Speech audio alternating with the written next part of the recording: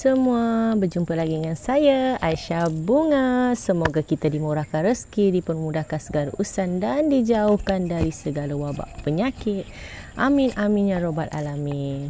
Okey, hari ini kita nak tunjukkan dengan korang bagaimana kita nak jaga pokok monstera ataupun memperbanyakkan pokok monstera macam mana. Ha, okey.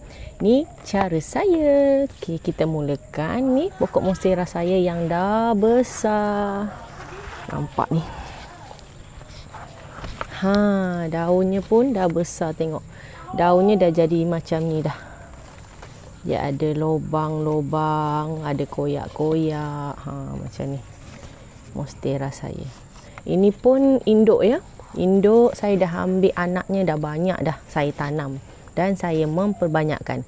Tapi saya tak nak memperbanyakkan ni saya nak memperbanyakkan yang kat belakang tu. Okey saya nak nak ajar korang bagaimana cara pokok monstera ni kita jaga okey? Pokok monstera ni kalau makin besar kita kena tukar pasu. Pasu ha, ni pun dah besar boleh tukar pasu lagi lebih besar kalau ada masa nanti saya nak tukar lagi pokok uh, monstera ni pasu lebih besar lagi. Ha nampak. Kalau dia dah semakin besar, okey ada 1 2 3 4 5. Ada 5 daun. Lagi dua semalam saya dah potong sebab dia ada macam uh, apa nama? Hari tu saya letak bawah zinc, lepas tu zinc tu mungkin berkarat. Dia jadi berkarat macam ni. Nampak? Air hujan tu melekat dekat dia nampak. Lepas tu yang rosak tu saya dah potong tinggal yang elok je. Ha nampak. Okey. Kalau dia makin besar, korang kena tukar pasu biar dia makin besar sebab dia punya akar tu korang dia punya akar tu nanti akan keluar. Ha nampak. Dia ada akar angin. Akar angin tu nanti makin lama dia terkeluar terkeluar nampak. Okey, kalau akar angin ni kita letak di pasu yang besar, lepas tu kita timbus dengan tanah, dia akan memperbanyakkan daun. Ha, itu sebab kalau setengah orang dia daunnya macam tu aja sebab apa? Akar yang ni dia terjuntai keluar. Bila terjuntai keluar dia akan cari tanah. Bila dia tak ada tanah dan uh, uh, ni nampak. Akar angin ni tak ada duduk dalam tanah. Dia nak membesar nanti terjejas. Ha, kalau kita letak uh, monstera ni uh, pasu yang besar lepas tu kita uh, ambil tanah tu kita tutup lagi akar-akar ni akar-akar yang akar angin ni dia lagi akan memperbanyakkan daun dan akan tumbuh lagi. Ini pun saya dah berapa kali tahu saya potong. Kalau kita nak potong kita nak tanam di bawah akar angin ni. Ni ada akar angin dia. Kita kena potong di bawah akar angin. Bawah akar angin tu kita potong. Bila kita potong lepas tu kita tanam. Hmm. Kalau nak tanam monstera ni kita kena pakai um, tanah organik. Tanah organik dengan sekam padi. Ha, kalau saya selalu sekam padi, sekam bakar saja. Ha, tanah organik. Dalam tanah organik tu dah ada campuran dia lah. Lepas tu pakai sekam bakar sekam mentah. Satu banding satu macam tu. Kalau saya buat macam tu lah. Ikut pasu yang korang pakai. Ah, ok ni. Ah, dia dah jadi macam monstera king. Ha, nampak? Monstera king besar. Yang saya nak memperbanyakkan sekarang ni. Panggil apa? Kalau saya panggil uh, baby monstera. Dia kecil je. Daunnya kecil-kecil. Uh, saya nak memperbanyakkan. Dia mesti ada akar angin tau korang. Nampak? Ada akar angin. Kita kena potong di bawah akar angin tu. Uh, nampak korang? Saya nak tanam dalam uh, dua tiga macam tu ya. Okey, kita memperbanyakkan. Ha, ni sebab dia dah tinggi, saya dah pakai corong ni batang untuk dia menggantung dia punya akar angin. Okey, kalau kita nak tanam, kita kena uh, potong start dari akar angin dia lah. Okey.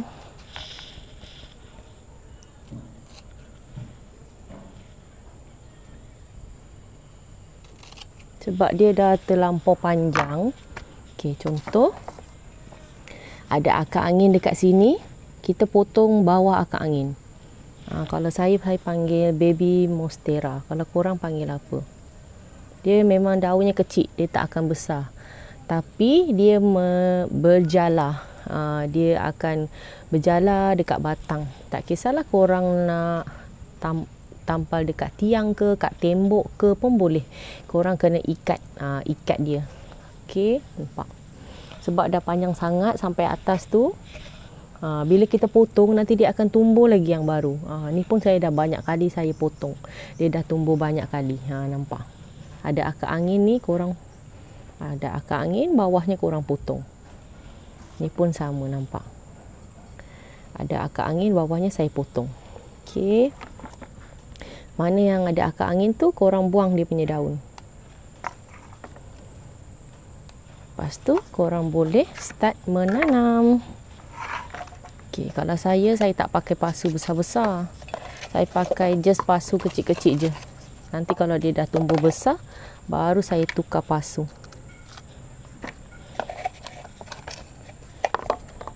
Ataupun pasu yang sedang-sedang. Macam ni boleh. Dia satu ni yang ni. Dia nampak. Okey, kita campur tanah. Ini tanah hitam, tanah organik. Hmm. Dia ada tulis kat sini. Cam ada campuran dia, campuran. Tanah hitam organik. Ha, dia ada tulis. Saya pakai tanah organik, tanah hitam tanah biasa. Lepas tu, dalam tanah hitam tu dia ada campuran sekam bakar ya. Korang tak payah lagi letak sekam bakar. Tu untungnya kalau beli tanah organik. Bila beli tanah organik dia dah ada campuran. Kalau korang pakai tanah organik dengan um, sekam mentah tu dah elok dah. Sebab dalam tanah organik tu dia dah ada campuran nampak? Dah ada campuran. Orang gaul-gaul ya? Okey. Gaul-gaul. Lepas tu kita masukkan dalam pasu kita. Kita masukkan sikit tu kita masukkan pokok kita. Kita tambah lagi tanah. Yang penting kalau monstera ni korang nak memperbanyakkan korang kena uh, dia kena ada akar angin. Kalau ada akar angin senang je korang.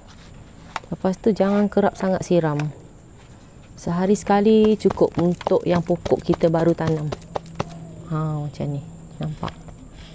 Satu.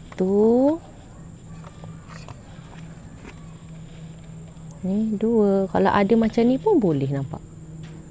Ha, nampak tak korang? Ada macam ni pun boleh. Ni dah ada akar angin dia. Dah boleh korang tanam. Kalau macam korang potong kat sini pun nanti dia boleh hidup tau. Kalau korang potong sini pun dia boleh hidup.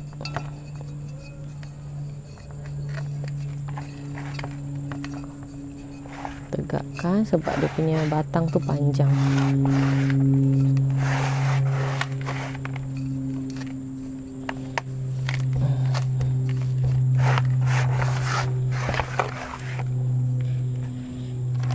Tambah sikit tanah organik. Dia kalau korang nak lagi lebat, nak lagi rimbun, akar angin tu korang kena timbus pakai tanah kena timbus dekat tanah. Bila korang timbus dekat tanah ada setengah orang dia akan gulung tau. Akar angin ni dia orang akan gulung de, uh, macam tape. Lepas tu dia orang taruh tanah dekat akar angin tu. Boleh dia hidup lagi. Kalau akar angin tu korang tak timbus tanah dia susah sikit lah lambat lah. Kira lambat dia nak membesar. Ha, lambat nak membesar Okey, dah ada dua dah anakan saya. Lepas tu korang letak di tempat redup ya. Sebab monstera suka tempat redup. Dia tak suka tempat panas. Okey, lepas tu korang bila korang ada monstera ni, korang kena rajin lap daun dia. Daun dia ni korang kena rajin lap. Hmm daun dia ni korang kena rajin lap pakai tisu basah boleh pakai kain basah boleh. Ha. jangan kenakan lekat tempat terlampau panas. Dia tak boleh letak di tempat yang terlampau panas korang. Okey, siram ha, kalau waktu panas ikut cuaca lah. Kalau waktu panas korang siram dua kali. Dua kali sehari. Kalau waktu hujan ikut pada hujan tu kalau tanah tu lembab, basah, korang tak perlu siram. Ha, korang tak perlu siram. Lepas tu baja yang penting, baja organik. Saya selalu pakai ni. Baja organik. Ha, nampak. Baja organik apa-apa pun boleh. Yang penting baja organik. Ha. Okay. Ada setengah orang tanya, baja kopi, biji kopi pun boleh juga kalau itu baja organik. Ha, sebab saya tak pernah gunalah baja kopi. Ha, tapi kebanyakannya pokok ni baja organ, organik elok sebab baja organik ni dia tak panas. Lepas tu dia tak akan uh, apa matikan kita punya daun daun kering tak boleh. Tapi selepas kita baja kita kena kerap siram. Ha, jangan terlampau kering lah tanah tu tak boleh kering sebab baja tu nanti dia bila kita siram dia akan masuk kepada dekat akar-akar. Ha, kalau saya baja uh, dua minggu sekali. Dua minggu sekali tiga minggu sekali pun boleh. Tapi paling bagus paling elok dua minggu sekali korang kena baja. Ha, barulah korang punya pokok tu nanti akan banyak daun dia akan membesar dengan elok. Ha, ok itu tips saya penjagaan monstera kalau ada macam ni korang kena lilit dekat batang. Ha, yang jenis macam ni tadilah yang saya ambil Uh, yang jenis daun kecil ni dia memang uh, dia akan apa nama bergulung dekat uh, batang. Okey. Jangan lupa like, komen dan subscribe. Aisyah Bunga. Kita jumpa lagi di video akan datang. Bye. Assalamualaikum. Jumpa lagi. Bye.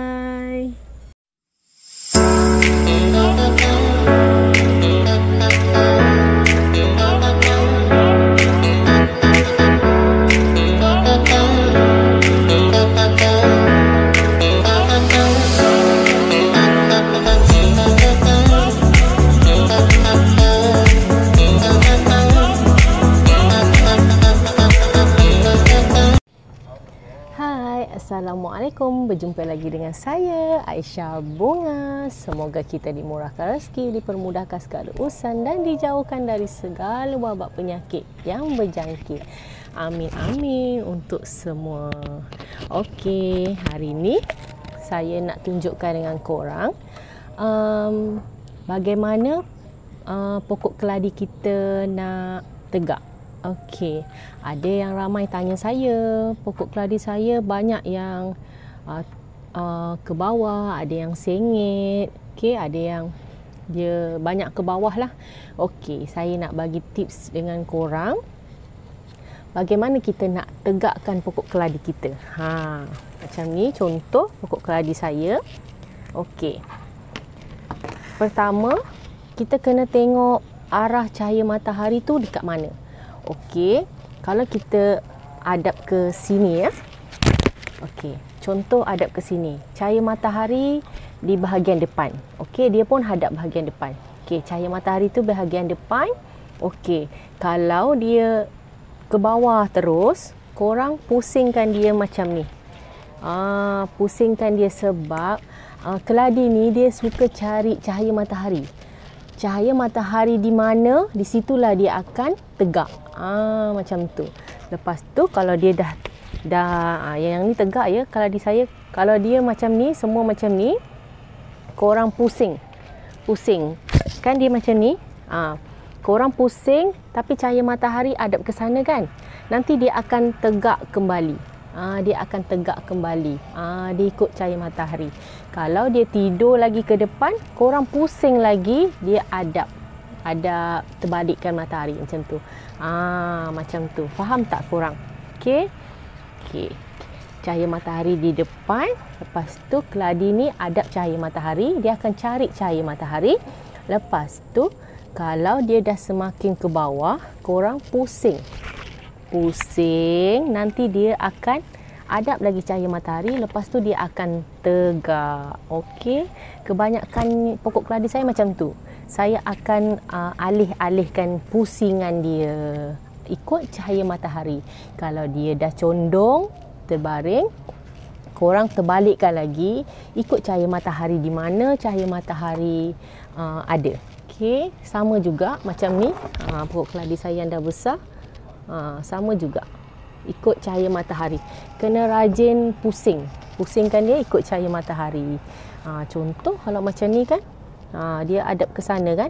Okey, cahaya matahari ke situ korang terbalikkan. Kalau terbalikkan nanti dia akan cari cahaya matahari dan dia akan tegak balik. Ha, macam tu. Okey, itu tips saya. Ha, biasa. Kalau terlampau baring sangat contoh terlampau baring sangat okey korang punya terlampau baring sangat dah hadapkan cahaya matahari pun dia tak tegak korang ambil uh, batang buluh ni okey korang letak lepas tu korang ikat tapi jangan ketat-ketat uh, cari uh, macam benang ke benang besar ke tali ke korang ikatkan dia bagi tegak dulu. Ha, nanti lama-lama dia akan tegak. Okey, tu tips saya lah selalu yang saya buat lah. Ha, itu cara saya. Ada juga yang tanya kat saya, sis macam mana ya kalau nak tegakkan keladi tu sebab keladi saya banyak uh, mengiring. Ha, cuba cara saya yang saya buat tu. Okey, mana tahu boleh tegak korang punya keladi Okey, tips saya tu. Jangan lupa like, komen dan subscribe Aisyah Bunga. Okey, itu tips saya. Okey. Jumpa lagi di video akan datang. Bye. Assalamualaikum.